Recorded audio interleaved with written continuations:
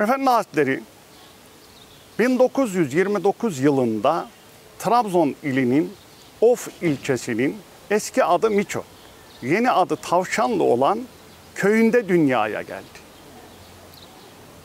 Annesi Fatma Hanım 1909 doğumluydu. Yani Efendi Hazretleri Kuddisesi ruhu dünyaya geldiğinde 20 yaşlarındaydı. O konulara biraz daha detaylı olarak inşallah gireceğiz. Ama evvela Efendi Hazretleri'nin anne ve babasından biraz bahsetmek isteriz tabii ki. Hele hele ben o köylü biri olarak orada büyüklerimden işittiğim şeyler, duyduğum şeyler de var. Dolayısıyla o konuya dair de biraz bazı şeyler söylemek isteriz elbette. Elbette. Efendi Hazretleri'nin babası Kuddisesi ruhu Ali Efendi'ydi. Annesi Fatma Hanım'dı. Tufan Efendi'nin kızı Fatma Hanım'dı. Babası Ali Efendi köyde şöyle tanınır. Yani büyüklerden bizim de işittiğimiz odur.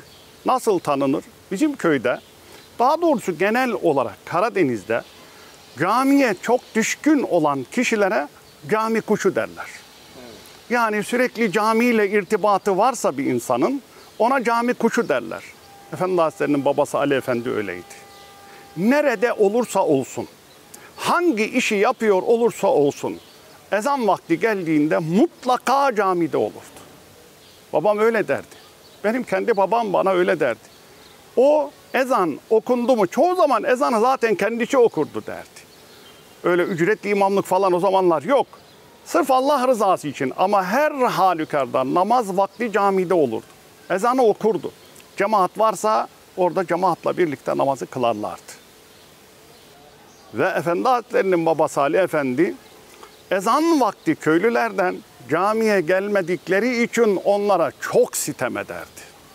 Çok fazla kızardı yani. Neden böylesiniz diye. Bu cami ne olacak?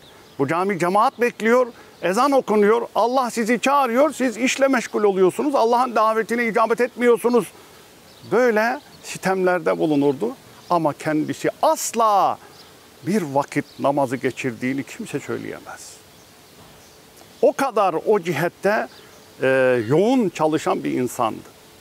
Ve herkes bilir ki sahibi tertipti.